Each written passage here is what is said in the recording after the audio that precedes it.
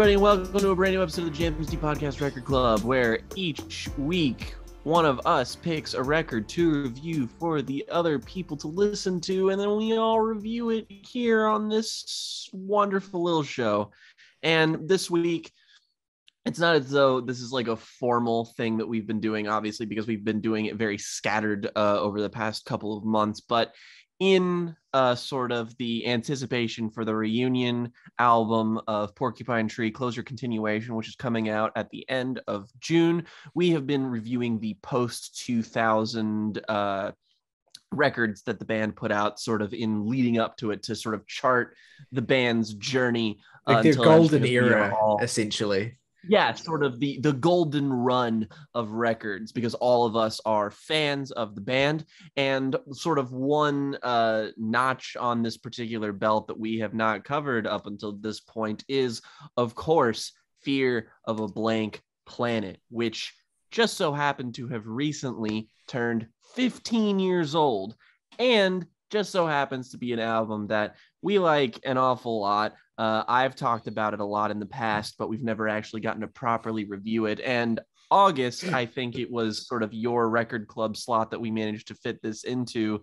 Fear of a Blank Planet is, in fact, my personal favorite Porcupine Tree album. It was the first record of theirs which I had actually heard and it, it was pretty early on into my uh, i guess you could say musical journey and I, I had encountered this record primarily off of the back of jake and morgan. You two had hyped it up substantially not just this record but the band as a whole. And one day i just randomly happened across a full upload on youtube uh, gave it a listen and instantly fell in love with its unique, hypnotic, at times both progressive metal leaning and progressive rock leaning atmosphere. Its amazing instrumentation, as well as, I think, a, a trend in Wilson's work, a reverence for classic prog, but unlike a lot of his other work, taking that reverence up a notch and featuring some really important musicians to this sound, as I am sure we will get into eventually. That's Fear of a Blank Planet in a nutshell, but we'll yeah. get into our more specific thoughts without further ado.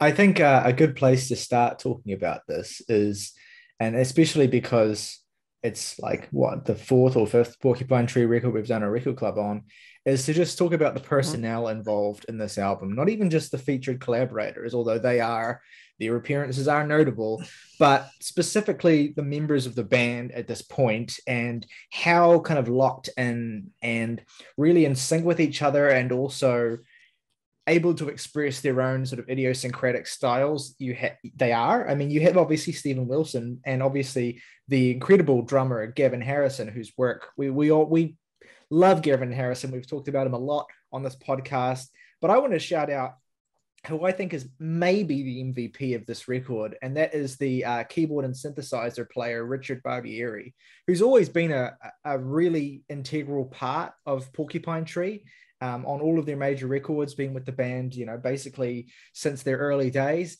Um, but I don't think we've ever really like given him his, his own distinct fear due. But one of the things that I really appreciate about Fear of a Blank Planet, um, and it's not something that's completely different from other Porcupine Tree records, but I would say here, maybe more than before, there is a a focus, a greater focus, a greater incorporation of synthetic textures, of a general atmosphere of sort of digitized fuzz. And that ties into the concept of this record as well, which we'll get we, which we can get into as well.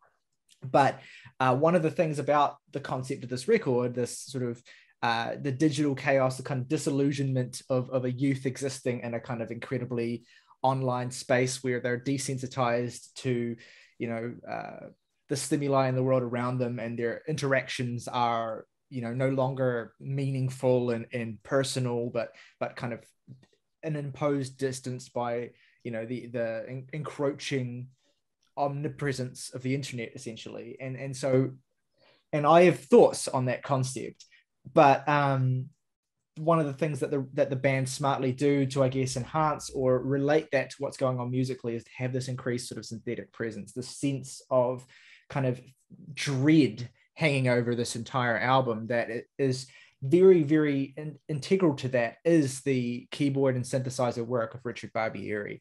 So it's really one of those points where not only are you getting another great sort of prog metal, prog rock record from uh, Porcupine Tree, but you are getting, as August said, more synthesis with and more communion with those real 70s prog aspects of you know what made that genre foundational with the increased presence of the keyboards and synthesizers. And because those to me have always been a, a, really core facet of prog rock that don't get it talked about as much as you know the kind of epic guitars or whatever.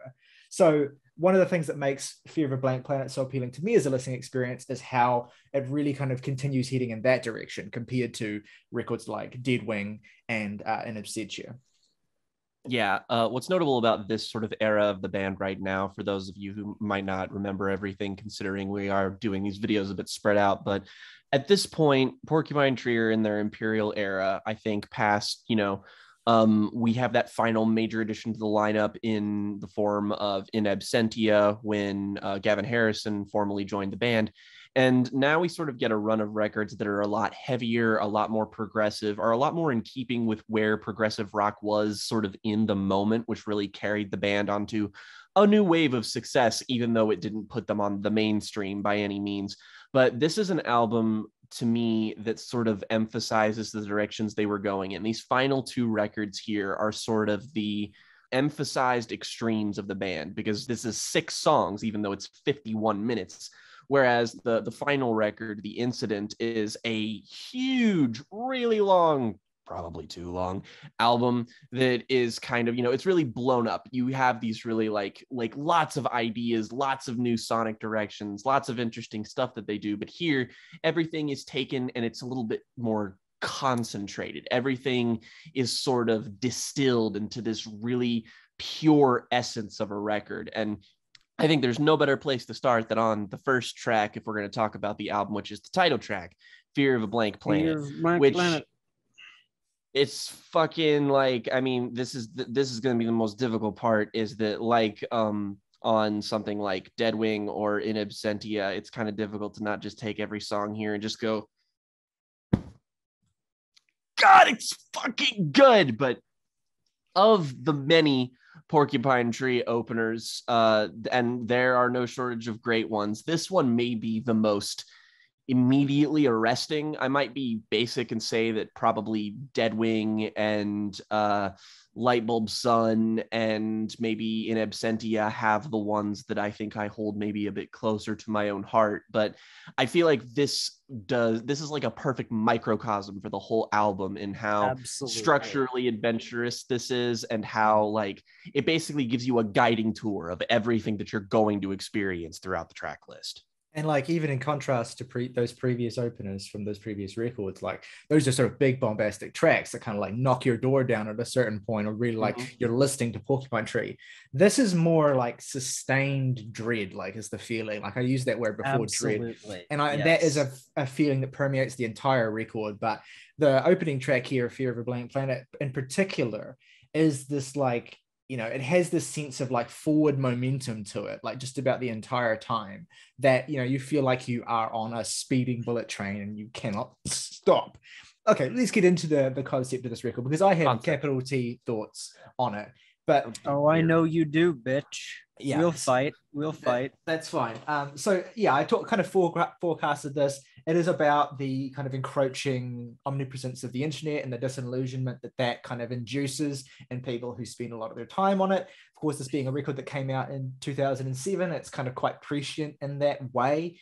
And so a lot of what uh, Steven does lyrically, a lot of what Steven does thematically here uh, is in concert with the music to kind of emphasize that. And so you have this sense of like being trapped within this kind of like uh, self-reinforcing kind of downward spiral essentially and there's like a an obvious nine inch nails pun i could make there which is not just because of the words downward spiral but also because like this to me is the most nine inch nails esque uh, porcupine tree record and i'll explain what oh I mean. totally I'll explain that in more detail as I get into uh, spe- specific songs in this record that evoke that band for me.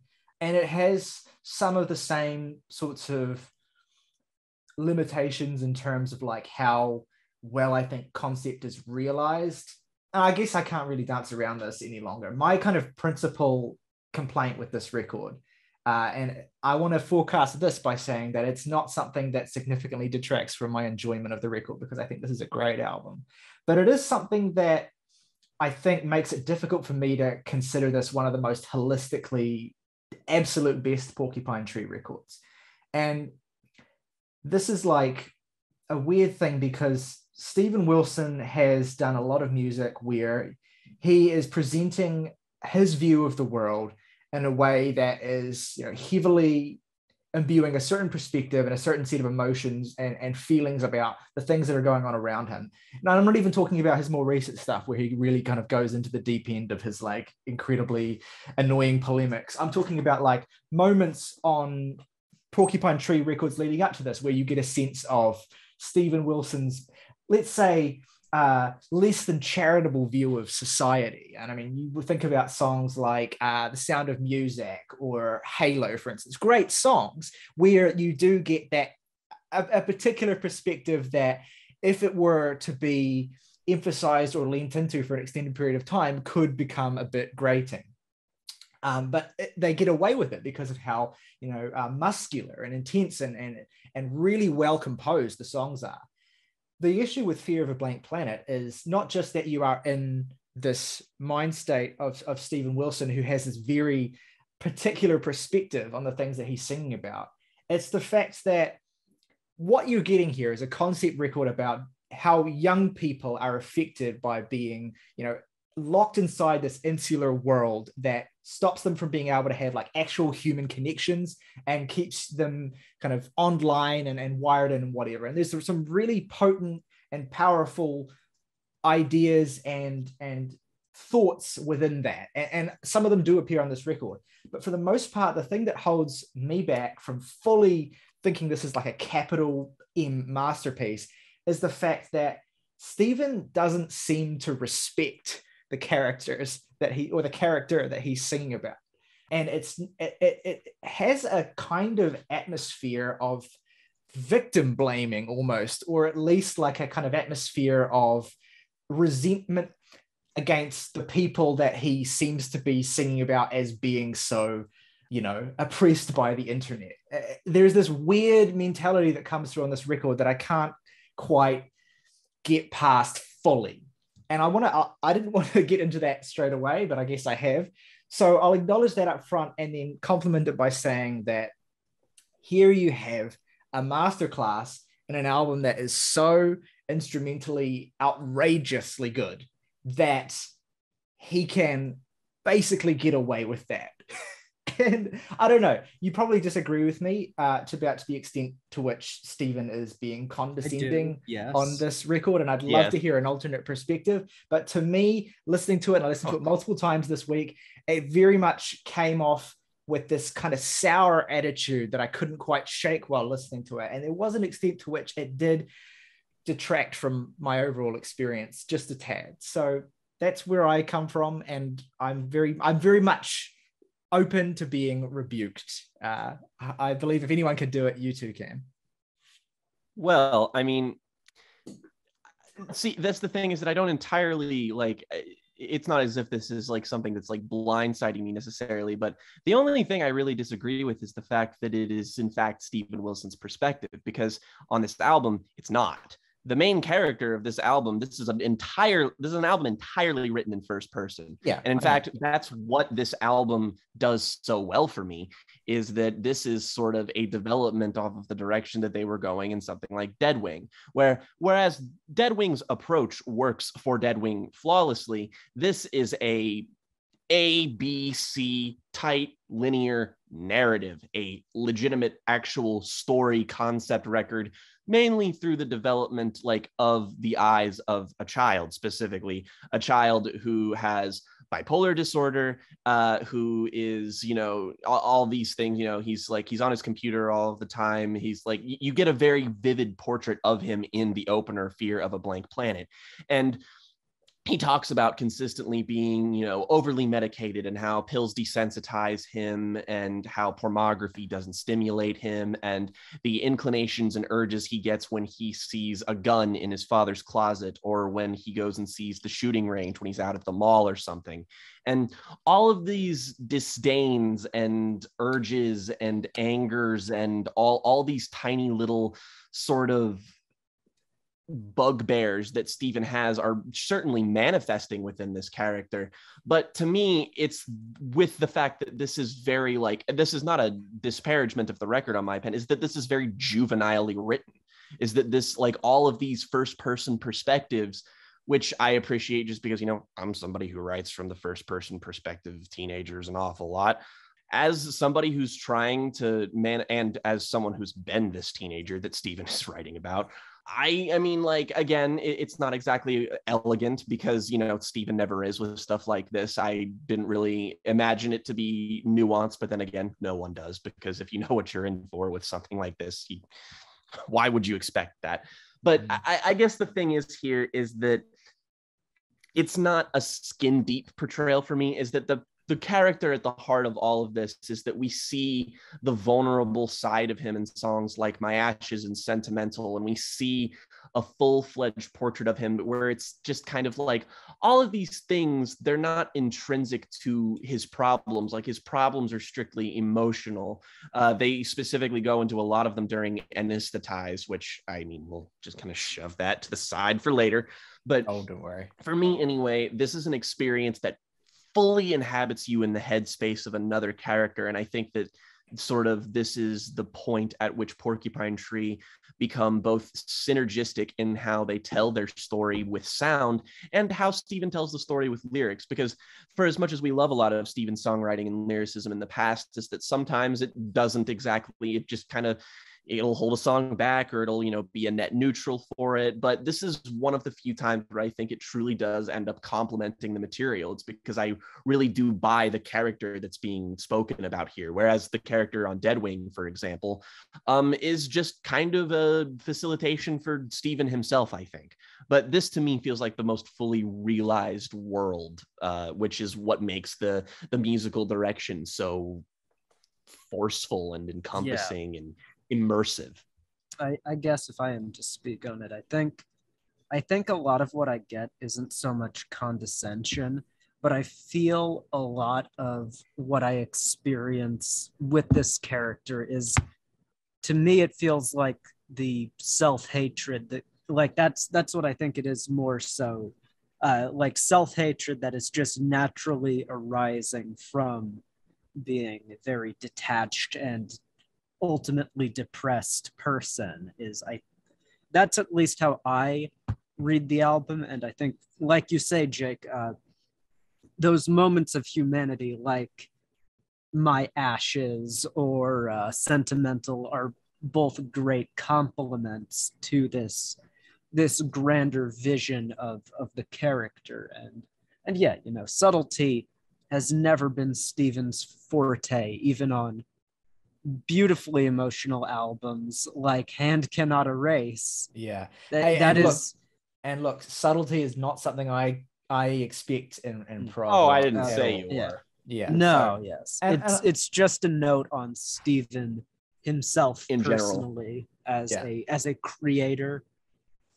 Mm. This actually makes me think a lot, August, of something I think you'd appreciate. Is this makes me think a lot of Serial Experiments Lain which is a story, it's an anime specifically about a character who basically becomes like it, it, was basically made at the onset of the internet and it has a lot of really dark oppressive overbearing energy and atmosphere. A lot of the stuff that satoshi kon would talk about which i think of satoshi kon serial experiments lain steven wilson all of these things occupy the exact same space in my brain because they all talked about the same things. They all talked about the onset of technology to near the turn of the century and that's a story that's about someone basically becoming so involved with the world in an online space that they become the internet essentially and hatred for others becomes hatred of the self.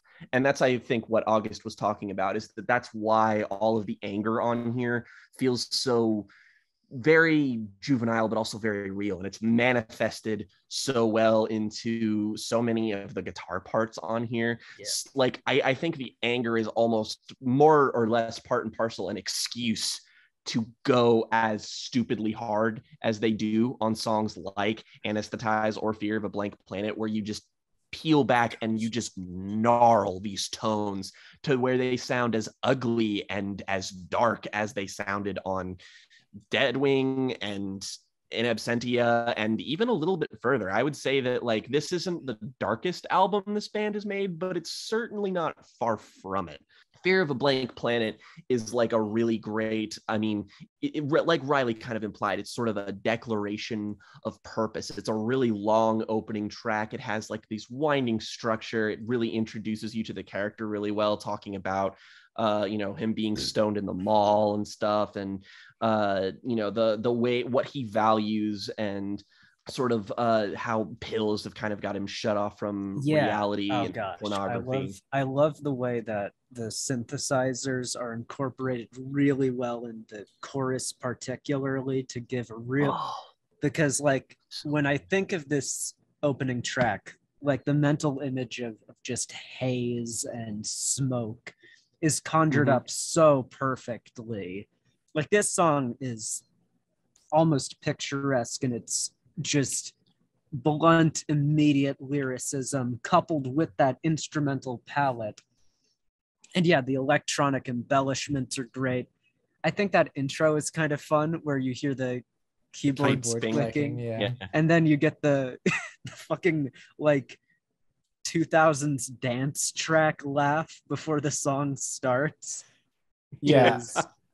It really actually not just because august is wearing a tool shirt and because we made a joke about it but it reminds me of on lateralus you can hear that sound effect at the start of one of the songs that's like it's used for a garage door opening in the first scream movie. Like it's a stock sound effect that every single like video editing software thing comes with. And whenever i hear that that's the first thing i think of.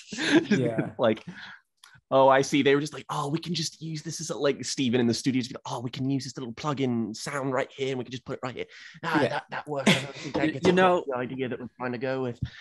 For as much as we're talking about the uh, the structure here, is that this has one of my favorite, really uh, catchy and also emotionally resonant um, sort of chorus refrains. The "How can I be sure I'm here? The pills that I've been taking confuse me. I need to know that someone sees that. There's nothing left. I'm simply am not here." It's like he desires something that's like it- it's not that he's just like, "Oh, I want to feel something." It's like no, he wants someone else to show agency and connect with him and I, I don't know I, that's part of it that really just sort Ow. of develops the emotional side of the album that really like gets me. I also like the part where he says he uh uh this part it- it's like it's it's very inelegantly written but it also feels like the most emblematic of what it's trying to do with the character writing is that it's my friend says that he wants to die. He's in a band. They sound like pearl jam. The clothes are all black and the music is crap.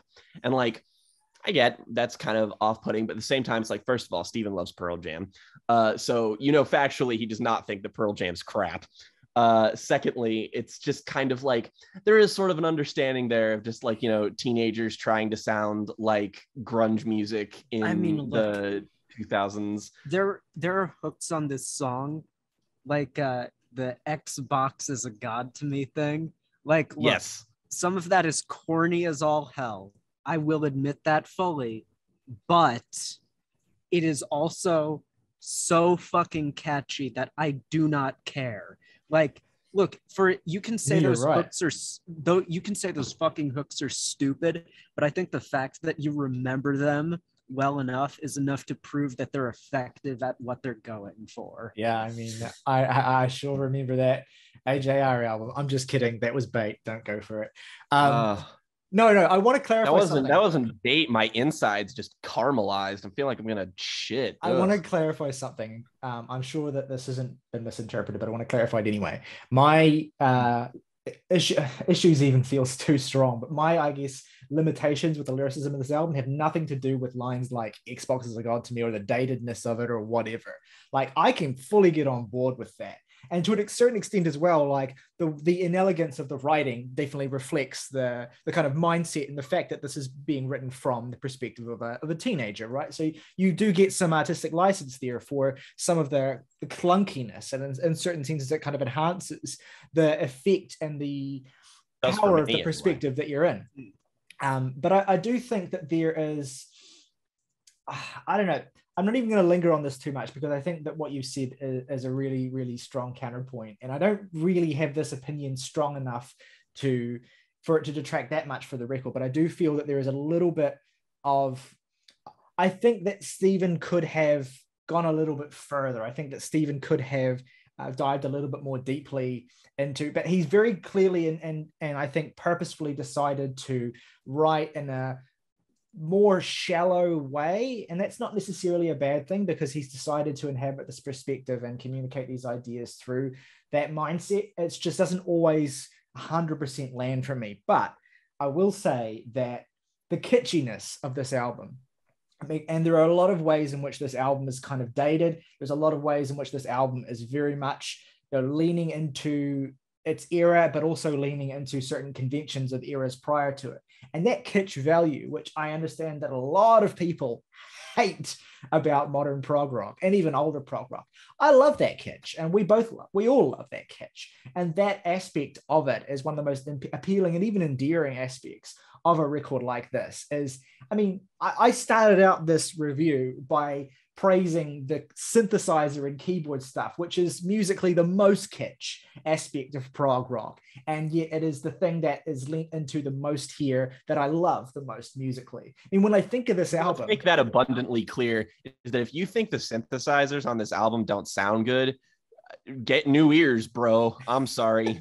like, when I think of this album, the first thing I think of usually is that intro to anesthetize, where you have like the xylophone and you have the really kind of warm sort of chords that are being played. And you, of course, have Gavin Harrison just going unnecessarily hard in this quiet part of the song. Um, but and when the guitar comes in on anesthetize, it's like, bow, wow, now, now, and you're like, yeah, and, and so let's okay, let, dude. let, us talk about anesthetize, anesthetize Yeah, right? So yeah, for all of my nip- nip reservations about bud. certain aspects of this record, anesthetize is the one moment where none of it ma- moment, the one part of this record where nothing matters because everything is perfect. I don't. I don't even have the slightest quibble about a single element of anesthetize. It is absolute musical perfection for 17 minutes and 42 seconds. And I, the I've listened longest Porcupine Tree song. and probably the porcupine tree song oh, i don't know maybe the one i've heard the most i've watched so many videos of like uh, the band playing this live i've watched like uh, you know videos of, of gavin's sort of drumming and i've watched like reactions Yeah. to gavin's drumming and i've I mean, watched it's, so many Yeah, it's me videos. too. insane enough that this is like a staple of their live shows because of just how technically indulgent the song is. If Oh, you and haven't heard the so live album for this record specifically, it is worth like for if you like this and somehow dislike that, you're uh, whatever, man. But this, the version of like, for as much as I love this album, and uh, I am of course going to sing the praises of every part of it because I do like. If for those who may have missed it in the past, is that this has been vying for my favorite Porcupine Tree album since basically I heard it and I only definitively came to the conclusion that Lightbulb Sun is my favorite somewhat recently. But this is pretty handily my second favorite. But one of the cool things about this is that the live album version of this, which I believe actually might be the live uh, version of this, is actually called Anesthetized. yeah the live record Um, anesthetized they yeah. play they play The live album of Fear of a Blank Planet is better. I don't know how, but they just like decided to do all of this and a bunch of other shit, and they did it better. And it's it's it's fucking like if you're not the per- type of person who listens to live albums, you need to become that kind of person because there's nothing about the live recording that holds it back. Like these guys, like progressive rock live albums are the easiest to listen to is because they have virtually like the best ones anyway have virtually no difference when it comes to the quality of the recording itself and because all of the performers are just so tight and locked in with each other. It's like the only thing i could say is that maybe steven gets one or two vocal performances on this uh, part on the studio recordings that are a little bit better but even then the difference is basically marginal. But i mean anesthetize is like this is a mandatory top five porcupine tree song. And if it's not like veering up on the top three, then people are going to look at you a little bit questionably. Just because, like, I remember listening to this when I first heard it in, like, I was in the middle of, like, I was in college and I was in class. Uh, and I was listening to the album like after a lecture, and I was just kind of sitting there and I was listening to it, and I just kind of got out my phone and texted Morgan, and I was just like, dude, I think this album might be perfect. He's just like, what? I didn't even send context. He's like, what fucking album are you talking about? Like, I expected him to know. But this is like, I- I'm trying to think, like, my favorite part of this shifts frequently. Like, there's the, the three minute blaring noise shit that happens at the very beginning of it. There's the Alex Lifeson solo, which if you haven't seen our guitar solos video, go check that out. It's really good. Uh, Kid Gloves, by the way, is winning that poll. pretty, yeah, I saw that. That's right fucking now. sick. Um, but Alex Lifeson of Rush shows up on this to deliver easily not not only just like a good Alex Lifeson solo, but one of the best solos that one of the best guitarists who's ever lived has ever done on this song. That is already like if you took the solo out of this song, it's just like that's a shame. But the rest of the song is so fucking good. Like, oh my god. The solo is What not even fuck? my favorite part of the song. Like it might not even be one of my top three favorite parts of the song, just because like it's just Not so even in the much- top I love half those of the gnarly song. descending riffs where Gavin's just like, "Dum, ba, da, da, dum, he's got like this drum fill that's just going on for a stupidly long amount of time, and then Steven's just like, wow, now, da, da, down, down, and you're just like, Yeah, yeah. And then the part where it comes in with just this like you- you're in you're so into this like incredible like jam instrumentally. And then like all of a sudden like he just pulls out this incredibly catchy chorus that just happens. Mhm. and you're like holy shit holy FTV like she's just completely everything. it just completely blindsides you. Like oh i'm listening to this massive prog jam and all of a sudden he just fucking punches you in the face with a great hook it's like It's one of the his song has best everything vocal performances. I love the way Steven actually sounds on this. Like when he delivers those like really kind of eerie vocals, where I, I- I don't want to like write a lot of the lyrics off here because shit like this, where it's the dust in my soul makes my me feel the weight in my legs, my head in the clouds. I'm zoning out. I'm watching TV, but I find it hard to stay conscious. I'm totally bored, but I can't switch off if you know what it's like to take antidepressants that make you feel like shit, let me tell you, this hits really fucking hard because that kind of gray haze is evoked here so well. And then you get the fucking the only apathy from the pills in me. Oh god, it's so this this is a, an amazingly written song as well. There, there's just like an incredible sense of menace here that like simmers and builds into these emotional outbursts that you really do feel like you're witnessing someone have an actual breakdown and it becomes kind of uncomfortable at parts but god it's so good. There's the the part the the water's so warm that day. I was counting out the waves and i followed their short life as they broke on the shoreline. I could i could see you but i couldn't hear you. Like oh god some of this shit is just like so forlorn and agonized and pain and it's really really effective Yeah, again, no notes on the lyricism of this track. I, I think this is the the crystallization of the best aspects of this record and of the most human aspects of the songwriting, I think. And um, oh, that's kind of a poor description, but just the, the most, I guess, resonant to me anyway. And it's also the song also manages to pull off something that very few songs that try to do it can really do, which is that um, you get the guitar solo, and I'm not talking about the Lifeson one, but later in the song, where it's a guitar solo that's just reprising the melody of the chorus Mhm. as a guitar solo.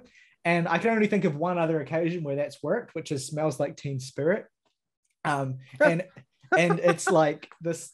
It's it's a very kind of like because it can come across as like kind of recycling a melodic motif into a solo form can just kind of come across as really lazy or, or like badly uh, done. A best way to emphasize your point is that a, a, band that does that an awful lot is Weezer. Yeah, yeah, fuck, fuck. Oh yeah, but it, it really works here.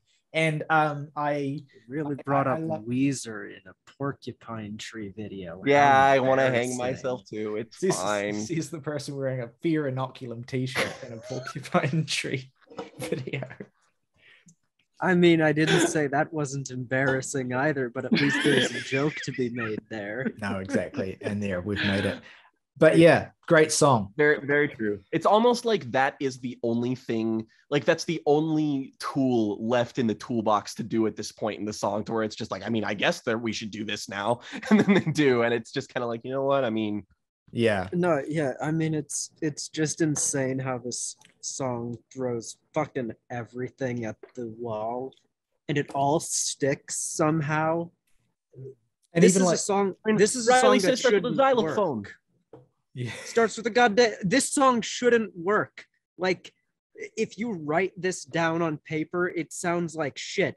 Sounds like garbage. Doesn't make any sense. But then you hear it, and it's like, oh my god, he's he's perfected it, music. It's kind of got like a space rock vibe to it at points, which I really love yeah. because I love space rock mm. in general, and I also appreciate the fact that thematically uh, obviously, with the title of the song, you have a very kind of clear concept of what the song was about, and you get that reflected in the very underrated final stretch of the song where it kind of mellows out, and yes. you get a sense of like the musical representation of the the numbing that's sort of being sung about. Like the mania subsides, and just the character enters this fugue state and it, and it's a great piece of, of uh, musical representation of what's going on lyrically and of course it flows really really beautifully into uh, the next part of the record where I, I, think you get a more sort of forlorn a more sort of um, i guess emotionally acute section of music with this song and then way out of here i think like this is the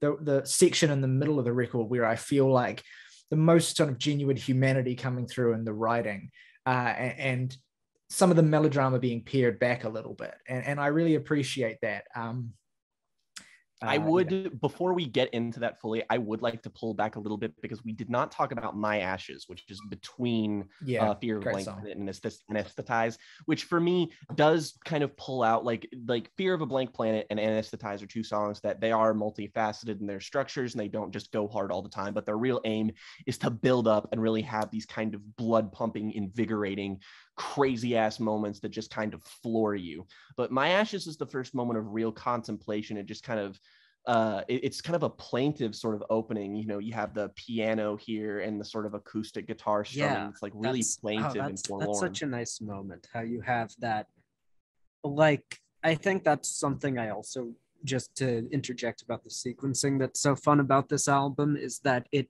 it bounces around between intenseness and calmness in a way that I think I initially didn't connect with a lot, but as time has gone on, I really appreciate how how dutiful those transitions are between these just high highs and low lows. Real and i mean once again musically evocative of what the character is going through having add adhd or whatever and bipolar disorder of this just never feeling like you can have a center. It's either one of two extremes. It's really, really interesting, I think. And and really it feels like prog rock is such a perfect genre to carry out this idea, this kind of ADHD concept.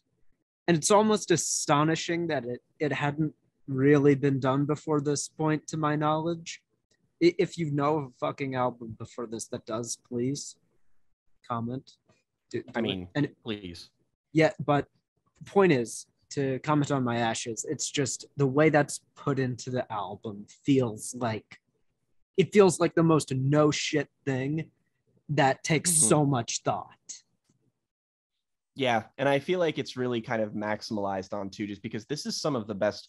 Like another point on the album where I just think the writing here is just really good. The the the sort of first verse the all the things that i needed i wasted my chances i found myself wanting when my mother and father gave me their problems which and i interpret as being sort of a uh, uh, sort of how um, mental illness most commonly the ones that the boy is suffering from are hereditary uh, I accept them all. Nothing ever expected, but I was rejected, but I came back for more.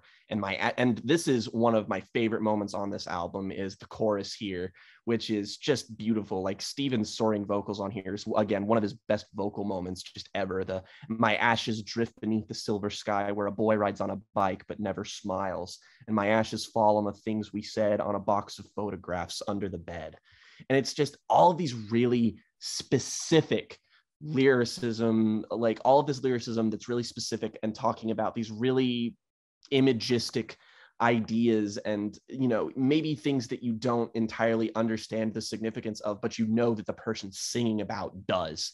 And that kind of stuff is really just sort of uh, kind of what makes everything lock into place for me is that this does feel like the sort of moment for him that allows him uh, to breathe. I also love the part in the sort of next verse, which is a kiss that will burn me and cure me of dreaming. I was always returning. Just the way he describes the sensations that he feels is continuously really, really captivating to me. Uh, mm. and and I just really wanted to shout out my ashes just because that's a moment on the album. It always really caught me off guard after the really high energy bounce back of Fear of a Blank Planet and Anesthetized, which you know they really do dominate the discussion on this album. But yeah. I, I think the for as much as deep cut favorites can be on an album with six tracks, I do think that songs like My Ashes and Sentimental for that matter are deeply underrated moments. I will say, uh, "A kiss that will burn me and cure me of dreaming" is a fucking Deafheaven ask lyric, and I love it. It's like oh, so God, like yeah. melodramatic, but also like really poetically beautiful at the same time, and it, and it just treads that line really well. There is, yeah, for all of for my quibbles about certain aspects of the lyricism here, and I feel like I've almost overemphasized that at this point. There are a lot of these beautiful little couplets that come through. I think maybe if I were to point out. um aside from the title track, a moment where I think the lyricism is a little bit less substantive or a little bit shallower than the best moments of this album, it would be the song Sentimental, which I do like quite a lot. I think it's a very pretty track, um, but I think it's probably pretty handily the least substantive one here for me. Um, that said, it is you know, it doesn't really detract from my enjoyment of the record all that much. And I think it provides some needed balance between the kind of gigantic enormity of Anesthetized and then a song that I know, Jake, is one of your absolute favorite Porcupine Tree songs, and a song that, if it were to come straight after Anesthetized, I think it would just be too much to handle. And it's oh, really oh, yeah. beautifully positioned in this record, that of course being the song Way Out of Here, which features sound effects contributions from Robert Fripp. It is pretty handily, I oh, would boy. say, pretty handily, I would say, one of the most emotionally devastating Porcupine Tree songs. And I'll let Jake, I'll let you get into exactly why well, that is. First of all, first lyric, baby, Steven Wilson train mention counter, yeah. ding.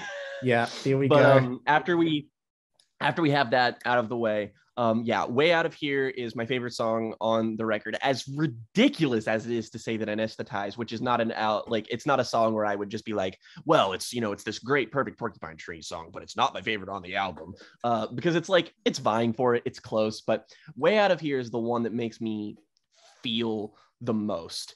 And this is just sort of like this is the perfect climax in the narrative point where it's like sort of like and all of the journey here is very internal. Like i always interpret this as sort of like a dream that the narrator goes into once he falls asleep. And it's sort of like you know you have the dreams where it's sort of like you relive a day in backward like backwards in your head. And this is sort of what i picture it just because a lot of the imagery to me is very evocative of just a normal day in someone's life.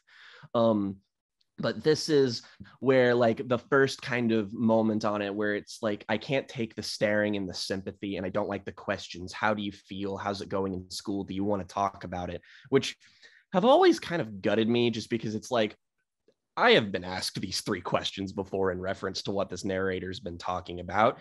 And no, when you're a kid and you feel like this, you don't want to talk about all of this shit. And you hate having to be asked about it all the time because you don't know how to feel.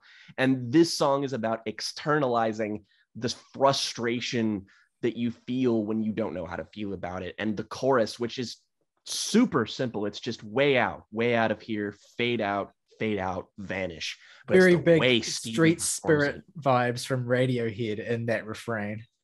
Oh man, I'm so glad you made that connection because I never would have. But this and Street Spirit feel like they have so much in common, even in like the the level of energy in each song, eh, respectively, is very different. But the way it contrasts with the song, like in itself, is very similar. And just the way Steven sings here, he's just he's borderline screaming this shit. Just the way he holds that note and the way his voice kind of like achingly breaks to hold it, it's so good. And when you hear him perform it live, it's it's even better. And then of course there's I'll try to forget you, and I know that I will in a thousand years or maybe a week. I'll burn all your pictures and cut out your face. And the shutters are down and the curtains are closed, and I've covered my tracks, disposed of the car, and I'll try to forget even your name and the way that you look, and you're sleeping and dreaming of this. And it's like he's trying to disassociate to get away from himself so that he can break off and try to like live a different life. And it's just gutting the way he's using this particular aspect of like the narrative and the way that he's feeling and shifting between these polar extremes that August was talking about earlier that the album does so well. It's just this is a perfect again, a, this this is why in my opinion this is like while my connection and emotion runs deeper with Lightbulb Sun, this is why, in my opinion, this is Porcupine Tree's greatest accomplishment is that what it does with its music and what it does with its themes, it manages to execute with a level of synergy that basically no band has ever been able to, to do quite this well in this genre. And, and it does so in such a unique way, in a way that I haven't really heard of before. And God, the way the guitar sounds at the end of this song, it's so it's it's fucking enormous sounding. Oh, first of all, like, like howling. Is, just is the, the like when he I says the way out and he just holds on it and it's just like and you're just like you feel like you're like like waves of sound are just like crashing on you and it's just like ah shit I mean, like on headphones this sounds massive enough like mm-hmm. and in a car jesus christ you're just in one of those experiences. This is like you have one of those moments where you just forget you're real for a minute. You know what i mean? Oh no it's just a total like space out like transportative. It's because it's such an emotional song that like it's really simple. The parts that make it are like it's really fundamental stuff but it's the energy. It's just the level of bravura this is all executed with. It's just, I don't get a feeling this intense and fiery and forlorn and sad. It's like, this is, this is like the climactic moment in like a fucking like fantasy movie where someone's slaying a dragon, but the dragon is them. It, it's just, it's so perfectly executes like the stakes of its own narrative too, just in using basically nothing but lyricism and instrumentation, which is just like, yeah. God, when I first I mean, heard this, man, this is it, it was just so mind blowing, and it still is.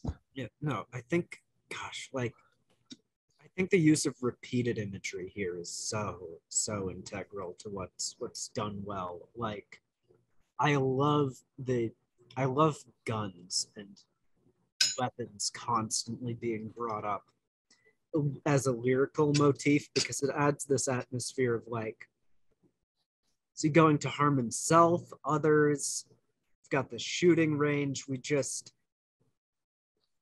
you i can't say i've ever felt more like tense and on edge for a character in in a song on an album than than this one because you really feel like he could snap at any moment and it's just a it, it it's that sense of doom that dread that oppression that that runs so deep in this album's uh, music you feel helpless as a listener, which is a very like, you know, uh, a very upsetting way to feel. Like, uh, in the context of listening to a record, like you might expect that maybe from like a really like powerful movie or something. But and I want to talk about uh, the closing track here, "Sleep Together," because it's kind of like a weird fusion of some of the things I don't care for as much in this record and some of the things that I really love about it, which is that like I, I get the point of this song, like conceptually, like it's like the backslide into like the the downward spiraling, the you know the the the, the lack of visible escape from the scenario and the sense of which we have to just engage in whatever mindless numbing behaviors we can. And that's fine. I think it's a little a little bit trite lyrically but i can slightly overlook that. The thing i really like about the song is how like it is the most 80s like kitschy sounding song to me. Like this song would fit right in on like pretty hate machine. And when i listen to it i get those very like those uh, early nine inch nails kind of like uh, slash late 80s early 90s depeche mode vibes except with like you know these ornate string arrangements and the sense of like you know uh, higher production quality heft than that music ever had. And it's like it evokes string arrangements so good. It evokes like so much stuff that's really nostalgic to me musically and it's and for that reason it's like even though i think that it's some of the most trite lyricism here it's like one of the songs that i get the most pleasure out of listening to weirdly enough um, because of how kind of kitschy and corny it sounds instrumentally and, and and how it sort of leans into that. Like even like with the strings like yeah they sound great they're amazing but they're also like pretty melodramatic. And it's kind of just all part and parcel of um, what this record is essentially it's it's it's this big melodramatic emotional heavily involved um, maybe slightly a little bit you know uh, too contrived in certain parts, but that's kind of the cost of the sort of record that Steven wants to make and the sort of way he wants to present this perspective. He certainly is exaggerating it to a certain extent for dramatic purposes, and artists are allowed to do that. So I think it's an interesting way to end the record, um, and it maybe is a good way to end my thoughts on it because it's emblematic of everything I love about this record and emblematic of everything that I think will keep it from being like one of my favorite Porcupine Tree records all the same. So yeah, I'm I'm frustratingly un un unsimple today in my feelings, but it's a it's a great record. I've heard it dozens of times probably by now, at least a dozen, and I still enjoy listening to it from front to back. And I like how much it's just like pure purely dedicated to being as musically awesome as possible um and that's something i appreciate in in a record like this like we don't know how the new porcupine tree record is going to turn out um but what I sincerely hope won't happen is that it turns out to be a record where Steven Wilson and co take themselves entirely too seriously and make a really solemn uh, prog rock record because a lot of what's most enjoyable about Porcupine Tree is the sense with which Steven and co kind of are aware of how kind of ridiculous it all is and sort of really lean into that and give you the prog excess that you want when you're in that headspace. And, and Fear of No, Blank yeah. Planet is a record that does that in spades. I, I'd say that's a great remark because I don't even really disagree with you about your point about some of the overly melodramatic parts of this record, especially Sleep Together, which is not the most originally written song ever. Uh, but yeah, no, that's absolutely a great point that the instrumentation carries this album. Just picturing the smile on everyone's faces while they're playing this, the the excitement, the joy, the verve, the chemistry. That's what makes this album fun because even though this is dark, gloomy, depressing shit, you still are just having such a great time because of how over the top and maximalist the instrumentation is. Like, there becomes a point when this album could be about shitting and farting, and I wouldn't care. It's it's so badass. Yeah, I mean, that's that's that's it. That's that's you see the vision I mean, I, I the, the worst case scenario is that closure continuation is being a concept album about like Brexit, which uh, I'll give it like a three uh, in in that case. Um, I guess I'll create a mild defense of Sleep Together, in which it's like it's really that the lyrics here it, it, it's that they're only really describing one thing happening in this which is kind of why the simplicity and frankly minimalism of it is fine by me is because it's just sort of like this is the point where you know it's a, it's an ambiguous ending it's like it did the catharsis that was yielded on way out of here result in implosion or did it result in something that was you know the character was able to to move on or move past. Mm-hmm. and it's sort of the this one moment of solace and you know taking it forward leaving like what it whatever it's going to yield. And i mean i just think it kicks a lot of ass frankly. Yeah, it, it, certainly stands out as a closer among Porcupine Tree records because, like, with the last two, you have some of my favorite album closers ever, and Collapse the Light into Earth and Glass Arm Shattering. And they're these beautifully tasteful and kind of spare and, and very traditionally pretty songs. And this is just like not really tasteful at all, not really pretty at all, certainly not spare. It has this incredibly dated synth sound that I fucking love. I can't tell you how much I love that warbly synth sound. And it's just like everything, it's kind of the inverse of, of what you would expect from a porcupine tree closer at this point. And it kind of emphasizes the uniqueness of this record, even among the other albums in this discography, and and why, you know, if you're in a particular mood for this particular record, then or what this record does, then this is you know there's no other choice this is the one to put on if you're in if you want to get into that it's, space yeah some fucking nail on the head. yeah. I, I want to point out to one instrument uh, that we haven't really shouted out before that I think is definitely uh, one of the standout parts to me is I think the bass playing on Sleep Together is fucking gnarly as yes, fuck. Colin Edwin, we respect. No, yes, I, Colin Edwin's contributions awesome. to this album. Fuck yeah, absolutely. Yeah, no, the bass while I would say it doesn't do like as comparatively much for the atmosphere as the synth does, it's still quite mm-hmm. uh it, it's still important enough to the atmosphere. I mean, it's not exactly post punk, but that's because it's progressive rock. Hell yeah. All right. Well, shall we do our favorite tracks and ratings then for Fear of a Blank Planet? I just want that to be the quote that they put on the box for something. It's just be like, it's not like it's post punk, it's progressive rock. And then someone reading and be like, you know what? Yeah. Yeah. Yeah, it is.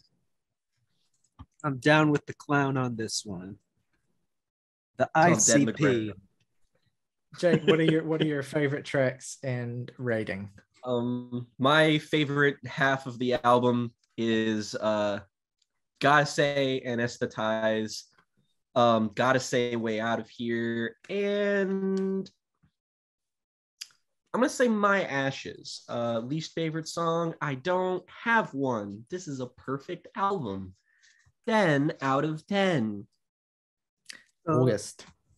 For me, favorites are gonna be Fear of a Blank Planet, my ashes and way out of here. Not that anesthetize isn't in my top three. I'm just not going to put it there because I have to have some bone of originality. Hmm. Uh, didn't really talk about this track myself, but I, I would say my least favorite is Sentimental. Anyway, no, gets not allowed. No, okay, not allowed. Okay, fine. Uh, this album gets zero out of ten. wow. Uh, shit. No, it's a nine for me. It's a nine out of 10. All right. Well, I know Morgan has this at a 10, so I've put his rating in as well. I will say my three favorite tracks are same as Jake. Uh, Anesthetize, Way Out of Here, and My Ashes. Uh, least favorite track is, yeah, it's definitely sentimental. And I would give this album an 8.5 which means that overall we have an average rating of 9.4 for Porcupine Tree's Fear of a Blank Planet. Let us know at home what you think of Porcupine Tree's Fear of a Blank Planet. Is it your favorite Porcupine Tree album? Where does it go in your ranking of the Porcupine Tree albums? And what do you think of our opinions and interpretations? We want to hear from you in the comments below. If you're listening on Spotify or Apple, then head on over to the YouTube link in the description and get, leave us a comment there if you want to. Make sure that if you enjoyed this episode, you like the video and subscribe to the channel if you have not already. Both of those things help us out a lot to be able to keep doing this. We will be back with another, the Record Club on the incident, much closer to the release of uh, Closure Continuation. So stick around for that as well. If you want to go above and beyond and support the channel, you can hit the join button, and for just $1 a month, you can support the channel and have your name featured in the title call of every episode in this channel, as well as priority comment response. And if you want to recommend us a record to listen to, your recommendation will go to the top of the pile. No one has done that yet. So I'm like, I'm waiting for someone to take advantage of the fact that I say that every video we yeah, do. so, someone. Someone August make is going us, to do it, then he's going to make us review Fear Inoculum. make us listen to something. Yeah, yeah, fuck it. I, I, I, I tell you what, if we do ever get big enough to have like uh, a Patreon or like a thing where we have a poll where we actually have to like do a video on an album that wins the poll, then Mm. I, I I look for if that day ever comes, then I have no doubt we will we will be truly tortured. Um, oh my gosh. You know what? no, I, I, I'm going to say it right here 2,000 subscribers special, Fear Inoculum. I'll do it. No, we can figure. you heard out. it here, folks. 2,000 subs. You're getting Fear Inoculum. How about this? Two thousand subs, and we'll do the full Tool discography. Oh, fuck yeah. Let's go. Fuck yeah. 2,000 subs. Tool Discog. But we've got to get to it by the we've got to get to 2000 before the end of the year. Otherwise, it won't. Otherwise, it doesn't count. So get us to 2K uh. before the end of the year, and we'll review every Tool album. Every every Tool album, every Tool EP, every Tool side project. Shut up! Stop talking. single. Yeah, we'll we'll, review green jelly, red jelly, perfect circle, half circle, quarter circle, square, fucking all of it. Yep. That shitty music video they did when they were a perfect circle for that protest album they made. Oh man. Um, so good. Yeah. All right. Um, August, why don't you send us home? as always, folks, uh, rock over London, rock on Chicago, Xbox, power your dreams.